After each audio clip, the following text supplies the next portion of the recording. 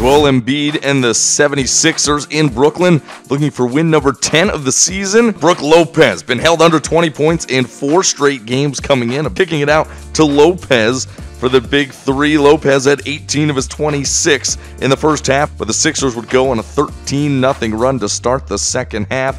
Stauskas on the drive, finding Embiid for the lay-in. Smooth jumper is good. Later in the quarter, Philly puts together a 15 2 run. Stauskas he gets it. He's going to pull up from the top of the key.